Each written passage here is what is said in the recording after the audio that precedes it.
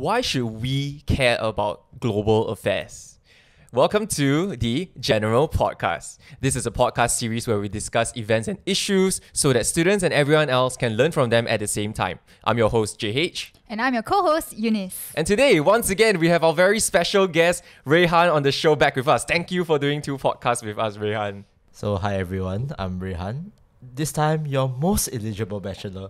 Open for all applications. Uh, applications will be uh, reviewed on a case by case basis. For any information about my introduction, please refer to the previous podcast.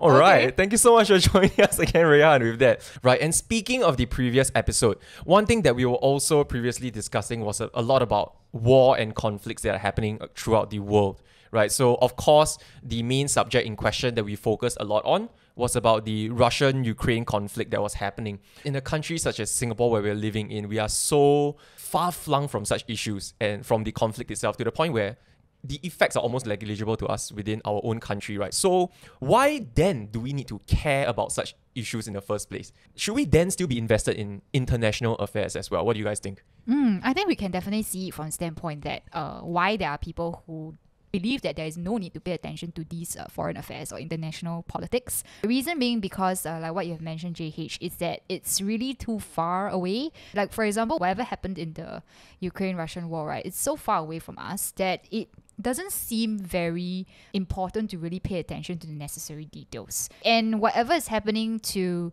the conflict, the only connection that we Singaporeans can have with this conflict would be that they are also people. We are also people, and Ukraine is considered as the um, weaker country, right, compared with the other countries around. And drawing back to Singapore, definitely we are geographically we are really quite um, small, tiny red dot, and therefore seem to be like the weaker country of sorts. So I would say that these are the connections that we can probably establish with what's going on in that particular war or that particular conflict. So it is fair to say that there are people who, who are going to think that this is really not very important because the connection is so weak. And another thing to also think about as well is that to us, whatever implications that happen in that conflict, right, it doesn't directly affect us. And another thing is also there are people who uh, feel that currently in this climate that we have, right, there are too many uh, negative news that's ongoing. So out of sight, out of mind. So what about you, Ruihan? What do you think? For me, I, I, I believe that I'll be the opposition today. So, uh, obviously, me being me, uh, obviously narcissist- narcissistically a man ahead of his time, I believe that it's important to learn about international politics because Fun fact: Do you know how many countries is in between Norway and North Korea? No, we. It's not fun for us because we don't Surprise know. one. It's just one because it's being only being like bordered by Russia. Both are being bordered by Russia. So you actually be pleasantly surprised like how close certain countries are with each other. And these days we actually do have a lot of international aviation going on. So it's not uncommon for uh, obviously a more affluent individual. Probably like maybe like having breakfast in London, going to Hong Kong for lunch, and then winding up in San Francisco. Ah, how romantic, right? I wish I For the could, rich, you mean? I wish I could live that lifestyle. But but jokes aside, but yeah, international aviation actually has made our world much smaller, Mm. much more interconnected. And the thing about uh, learning about different societies is also that it also trains uh, like your reasoning skills and ability to think from like both sides of the coin or even multifaceted. That's why you have people like yours truly. Anyway, again, jokes aside, I do have friends who are in the absolutely liberal Yale-NUS. Uh, or these days, uh, NUS calls it West Wing, which I absolutely don't like the name, but that's for another day. so, Topic for another day. Okay. so in Yale-NUS, there are actually a lot of international students from all sorts of countries. One of my best friends actually got to deal with a Uzbek guy, and after, and obviously he instantly thought about me because I'm such an expert at everything, right? Yeah, I'm just kidding. I'm, Sure. I'm, I'm, I'm just kidding. I'm just kidding. I mean, um, it's more that like, but definitely Uzbek culture is definitely one of my strengths because since I've already mentioned in the previous podcast that uh, I do like Uyghur culture. I do consider myself as a subject matter expert on it, and Uzbek, Uzbek culture is actually very closely related. So he obviously he thought of me, and then but he also realized that he couldn't really talk much with the Uzbek guy because he, he doesn't know that much about Uzbekistan. So that's why one of my, my reflections is that you, you don't wait until you see something and you decide, oh my god, why didn't I learn this earlier? Why not you learn it first, and then afterwards when you meet something you use it. And because I'm a business student, and I also definitely realize that in this very globalized world, you definitely need to deal with a lot of uh, foreign companies, a lot of foreigners, and business climate is honestly, in my opinion, not that far away from societal climate. So it's obviously better to learn more about their culture and then adhere to them, and you get their business. You win, they win, they happy. You happy. All right. So yeah. So of course, one thing that we can also definitely take note of, which was kind of like um, economic impacts. I think we were looking at that. We were exploring how being aware of what other countries are up to are also opportunities for you to uh, make money as well. When you know how other people do business, um, of course, then it also makes us more invested in uh, global markets. So recently, because of the conflict as well, my my stocks have taken a dip. Terms- So monetary wise, I guess from this standpoint, uh, we are at a, at a bit of a loss here because of the current situation. But at the same time, it also definitely presents us opportunities to kind of like make money in this regard as well. There were quite a number of points that uh, Ruihan was sharing earlier on, and in particular, he was mentioning about this idea of it had actually made him much more attuned to and being aware of other cultures as well, which I did think was very very important.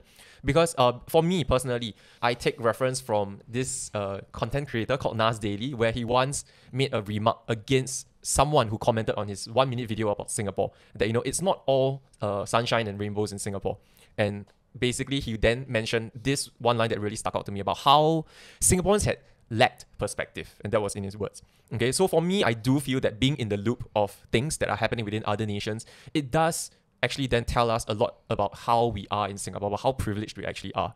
So I do personally feel as well that it's important for us to be aware because then we will be able to know, oh, actually Singapore is so safe as compared to other countries where there could be an armed conflict happening right uh, right within your neighborhood at that point in time.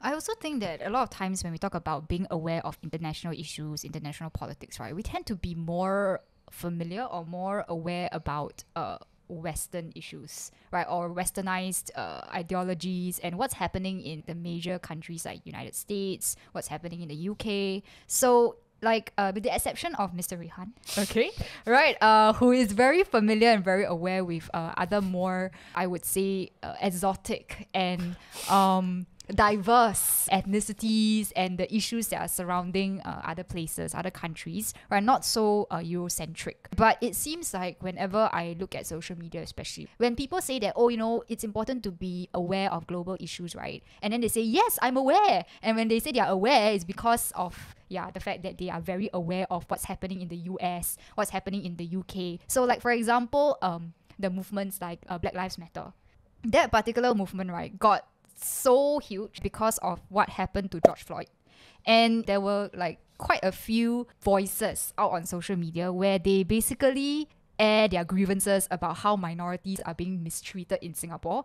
And somehow or another, the conversation shifted from like whatever is happening in the US is exactly what is happening in Singapore, when it's not exactly true. It's not entirely true, right? A lot of times we have seen that in the US, especially, their politics seem to be skewed a little bit towards uh, identity politics already, where they are looking at blacks, the African Americans, and whites. But there's more to it. And obviously, whatever's happening in these countries, we cannot 100% copy paste into what's happening in Singapore. We have so many different ethnicities, and um, our policies and the way of life in Singapore is very different, vastly different from what's happening in these other countries. So I think that uh, even when we are to pay attention to international issues or global affairs, it is also uh, what kind of affairs are we paying attention to? Are we so focused or so heavily focused on the westernized nations that other nations are not as important? And then we give the excuses because our media space is so dominated by Western ideals. We don't deliberately go on to find out more about other not so common or not so mainstream ideas articles, information about other uh, countries or other nationalities, ethnicity. Unlike Mr. Ruihan again, I keep saying that because it's true. it's true. so that's something that I admire about Ruihan because really, if you really go and talk to the average like layman in Singapore within our social circle, right, they really don't really have a lot of uh, understanding about other countries aside from the westernized countries. So one thing that Ruihan was also previously sharing, you were also letting us know about how you know, uh, you do enjoy uh Uyghur culture. I, I hope I pronounced that correctly as well. On that note, now that you are someone who has actually traveled to that region, do you feel like you know you know more about them or know less about them?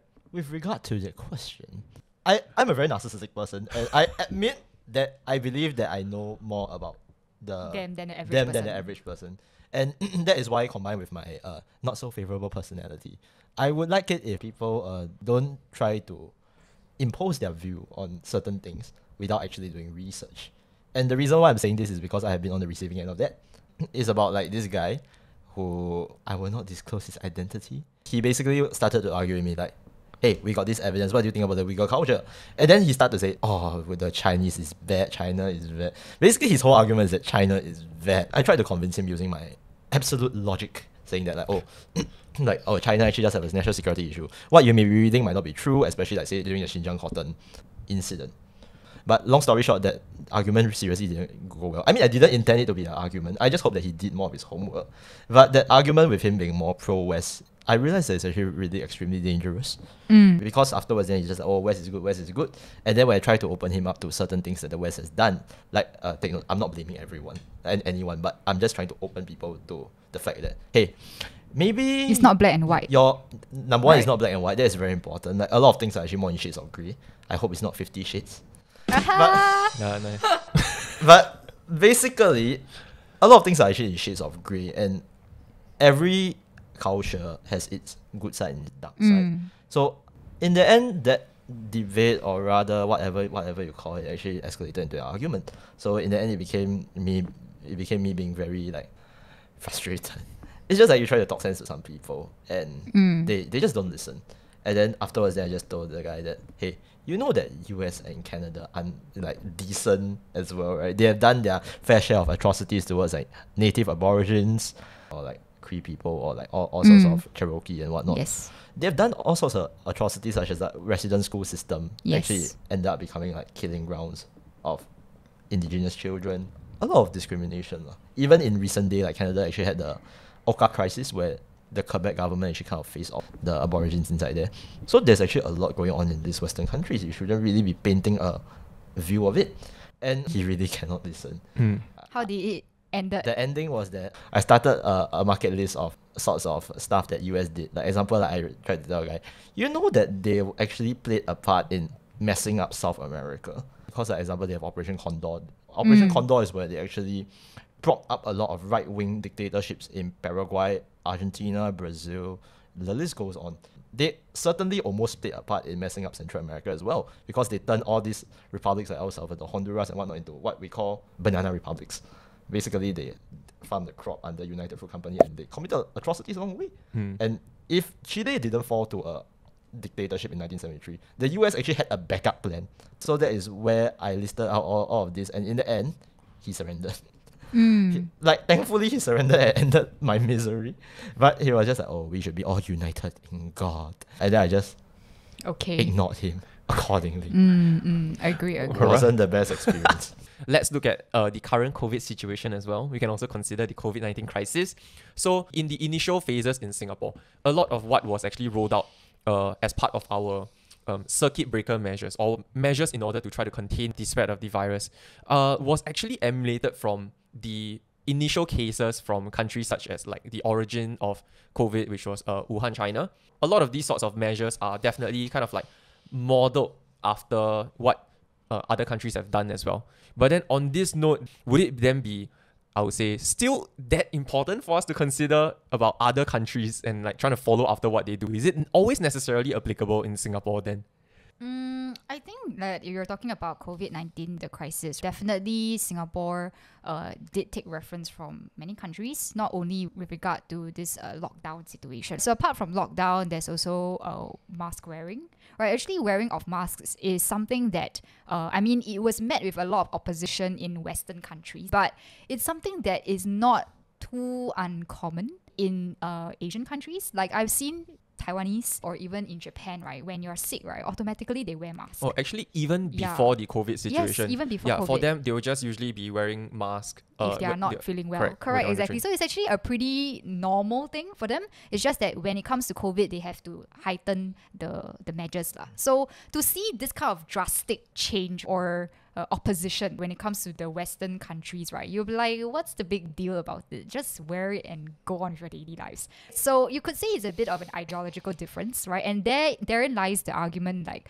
uh, if we were to take reference from other countries, you cannot take reference blindly. Obviously, it has to be based on a lot of considerations, whether we have the capacity to emulate these countries in the first place, whether our ideologies uh, even align in the first place. For me, I realized that actually, like globally, there are only three methods. The first one is zero COVID, which is what China is pursuing. The other one is all out endemic, which is what the Western world initially until today is uh, continuing to pursue. In fact, maybe that's the reason why uh, our favorite uh, Prime Minister Uncle Boris decided to embark on a Partygate scandal. And then the third one is What's uh, the scandal? Please share. uh, the Partygate scandal is just about uh, how uh, our dear Prime Minister Boris Johnson decided to uh, host a huge social gathering in 10 Downing Street.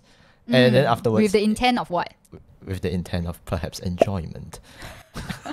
and then af- and then afterwards, basically, he came under fire from like uh, certain leaders from the UK Parliament, including like very famously from the leader of the Li- Liberal Democrats. To which uh, our dear uh, Uncle Boris uh, answered in um, Mandarin He was like, 你好，见到你很高兴. but that's for another day.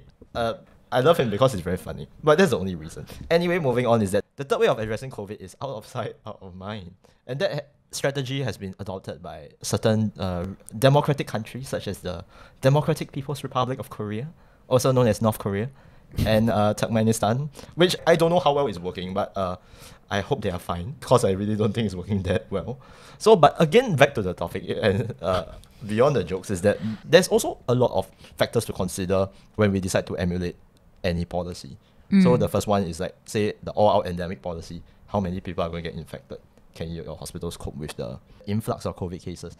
Which we can see from Singapore's case is not doing very well, unfortunately. I think right now it's still okay though, manageable. But there was one point of time. yeah, it there was a, it was wasn't doing very overwhelming. well. Yeah. And also, uh, basically, the main concern is loss of life. And but for the zero COVID policy, which I believe is only being pursued by China, there's also a concern of ethics. So it's like because they're they're just like really aiming for zero COVID, the numbers must be zero. So if there's an outbreak in a city, there there will be a lockdown of the entire city. Is it too extreme, or is it adequate?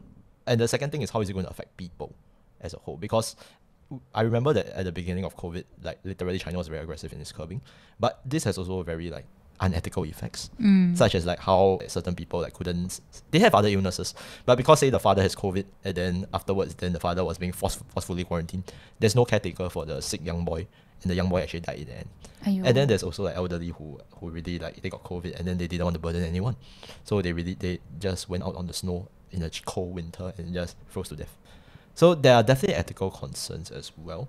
And the way China handled its COVID uh, initially is just that it also does have its problems because like it being like a more authoritarian state, I will have to admit that it paints a more rosier picture than the truth. So therefore, maybe it resulted in lesser preparation time as well. And on mask wearing, I think it's very interesting because initially I was a firm believer of masks, and then the transition actually came in December 2021 okay. because I decided to be cheeky and go to Melbourne alone on my uh, on my holiday retreat. And the rules in Melbourne back then were actually really relaxed, considerably relaxed compared to Singapore. As compared to Singapore, yeah. You definitely still have to show your vaccination certificate. Reasonable. You have to upload your data onto Service Victoria, which is their version of Trace Together. So reasonable as well. The best part is that you only need to wear mask indoors, and if you're on the street, you actually can mask off. So I realized that, and from day five onwards, day five of my so my trip was seven days. So day five of my trip onwards, I started to mask off, and then I came back, I was fine, and then recently I just recovered from COVID. So implies that I have got COVID last week, Ah. and which is in Singapore. which which is in Singapore. I wore a mask. I abided with everything, and I still got COVID. So this brings to the question whether, like, say, mask is really effective. Of course, if you are sick, please wear a mask. But if you are fine, the question of the mask comes in because Mm. There are people from the west, which I know, they argue that the mask actually spreads COVID more because you know you wear your mask, you take off your mask, you wear your mask again, you touch your mask, and then all the germs are on there. So that is probably some of them how they think as well. Mm. But for the human rights issue, personally, I don't comprehend it because I don't grow up there. I don't see how a mask has limited my facial identity severely. So Mm. and my recognizability. So other than that is yeah, it's just that sometimes masks might but now on 29 March we're going optional on masks. Yeah, that's right. we are taking the the Australian. We're taking the Australian route. yeah. But uh, the only thing I'm the concerned, Aussie route. I might be concerned is I getting COVID a second time. I couldn't afford to do it because I have exams in April. That's so only key concern. You right? couldn't you like retake? No. ah. uh, retaking is the worst option. I, I, I have another friend who got COVID like During last, exams. last semester during the during the exam period, while everyone is uh, partying and holidaying and slaving for hall activities. Uh, he was literally just studying at home and be like, "Hey, where's my makeup exam?" It's nowhere in sight. Oh. So yeah, it was a sharp contrast. I was holidaying in Melbourne and he was just like, "When is my makeup coming? what Mm, modules do I see. bid for?" on that regard, then a lot of Singapore's actions, a lot of Singapore's stance towards COVID is also still kind of like emulating other countries. So right now we are moving on to the the Aussie phase, I suppose, about the uh, going the Australian approach to, uh, in terms of our mask mandate. So on that note as well, is perhaps important to consider then of course we should also consider global affairs as important right it's important for us to pay attention to what other countries are doing so that then we can adopt the best measures that are in place and the ones that might be most suitable for our own domestic situation I might have to argue against the, this theory in the first place. Because my argument is that the problem is that every country is actually operating in a very weird manner. So the analogy is like, say that we are on the ship. The ship is supposed to operate as a single unit. However, every cabin, which is like akin to every country, is actually pushing out its own measures. So if we actually rewind the time back to 2020, if every country actually does have certain unified measures to actually curb COVID, like maybe we wouldn't have to suffer COVID until 2022. Maybe my travel plans won't be halted. Then you have a more personal vendetta against all these But- restrictions. But it was said by, if I'm not wrong, is one of the WHO directors that basically the ship analogy is being raised by him. I don't know if it's uh, our favorite uh, Monsieur Tedros, who has come under a massive fire ever since. But it was definitely one of uh, higher ups who actually mentioned this analogy about the ship and the cabins.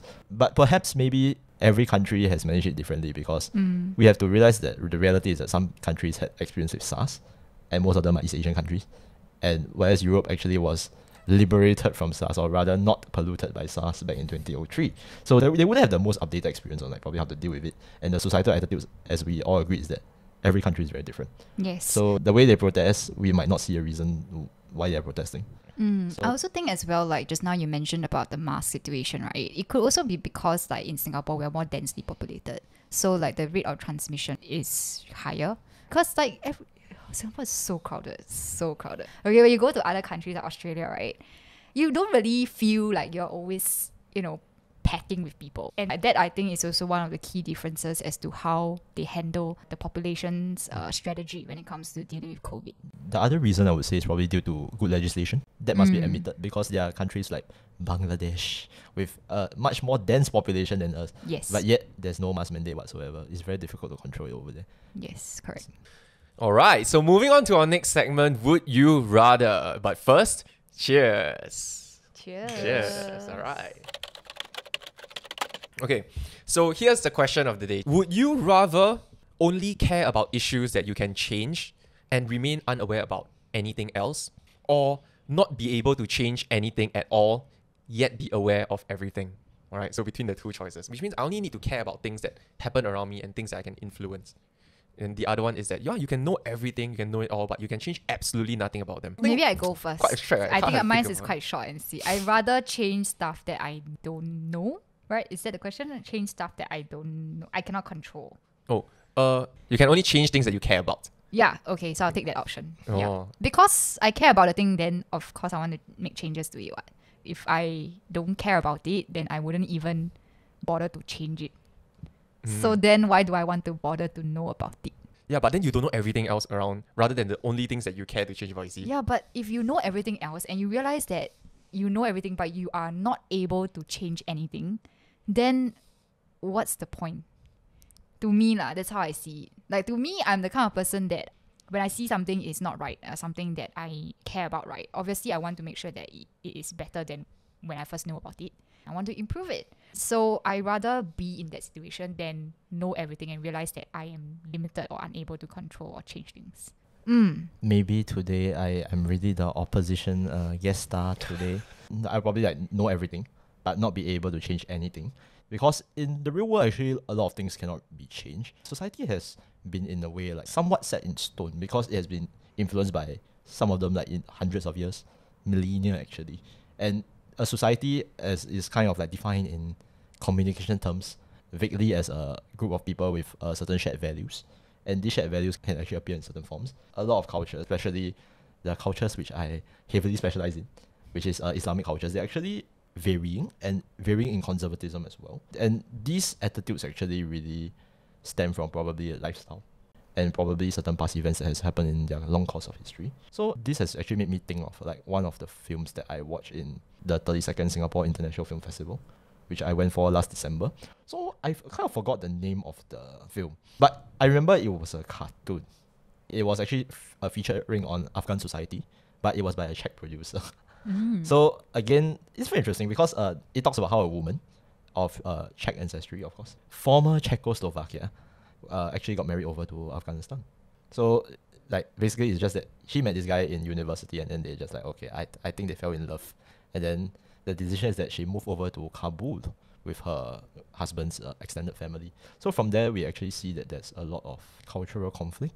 Actually, not really between the woman and her husband's family because she has like kind of like long resigned to it. She's just like, okay, this is Afghanistan. This is how it is. This is how it works here. But the thing is that both of them actually kind of work at a US embassy. And that is where the US people actually didn't really understand how Afghanistan works. Like because in Afghanistan they are more conservative, so like there are rules that like don't simply just don't make sense to us. Such as like when a woman is out, she must be accompanied by a male relative Mm, yeah. and then be like uh especially when driving also and then there was also a very ma- major part where like her husband's brother or sister has conflict with the spouse and then one of the us embassy members was like this is not fair like she's getting beaten by her husband why is she getting this we should help her defect over to usa and then only for the female lead to be like are you crazy this is afghanistan so that is something that actually really struck me in the movie is it morally wrong to hit your spouse your wife in my terms and in absolute terms you would say yes but in their society, from their perspective, is it wrong to do so? They might say no. And should we judge them for it? We shouldn't because it's their land and how they grew up in. Th- Like you shouldn't try to change it because if you try to change it, it will actually cause much more unneeded conflict, and it will actually rub off to locals as being very insensitive. In a way, it becomes like a greater wrong compared to what they have done.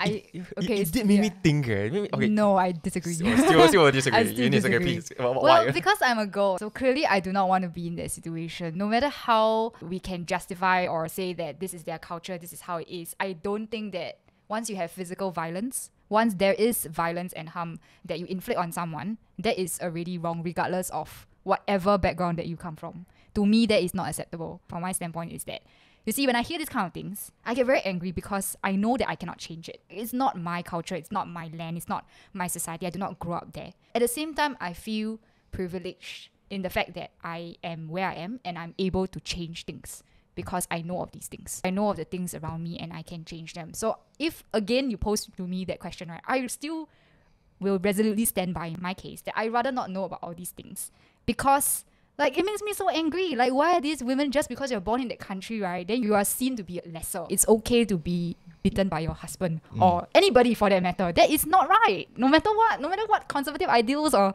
whatsoever, to me I cannot accept it. And thinking about it makes me so frustrated. It makes me so angry. I cannot imagine if I have known everything and then knowing that I cannot do anything, I'll be, oh my goodness, how, how can I live day by day? I don't think I can do that. For me, I actually fully understand where Miss Eunice is coming from. the first Okay, thing get that I wish to clarify mm. is that I am actually quite feministic also. Obviously, that's why I said I mentioned it's absolutely wrong. But again, mm. Should you change them? That is a very huge dilemma to go through because it's, Yeah. like, it's really so entrenched in their culture. That's why, apart from that thing which I actually thought about after watching the movie, and I actually also thought about like the fragility of men's ego in those countries. That is something that is also worth thinking about.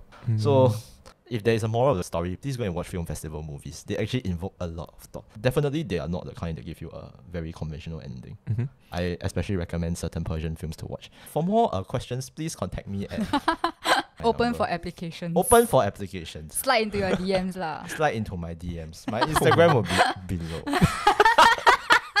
so it would have already been inserted. On okay. YouTube lah. Actually, okay, now that I've heard both points, right, initially I was very much on the first stance, right, that I will only want to care about issues that I can change. Okay, but then actually after listening to Ruihan, right, he had made me falter a little. Imagine if you are someone who only takes on a more passive role in the world, just being an observer, like how Ruihan he says that like, you know, one thing that you also do wish to do is to go around and observe how the different cultures, how they operate, basically people's ways of life, right? And there are things that I should or should not change to those, or rather, I shouldn't change at all to those. So it made me think that, yeah, you know, actually, from this standpoint as well, I can consider that that like maybe I'll think that it's better for me to be aware of everything and then don't change anything at all, because ultimately it's a question of whether we should or should not change it. But then at the end of the day, I will still stand by my original stand, which is that I will only care about things that I will change about because I will also feel that as a person, if I'm made aware of things that I won't be able to change, I know that there are all these different sorts of atrocities, things that I don't want to see going on in the world, then it would make me a very pessimistic, a very cynical individual. I do suppose that. So I'll still stand by the first plan as well. But yeah, both are equally valid and interesting to hear. Mm-hmm. All right, so thank you for listening and watching our series. Do continue to stay tuned to our podcast. Please like and subscribe. Do also comment down below which side will you be on? Will you be standing more on Ruihan's side or you be standing on Eunice or my stand? Bye. See you.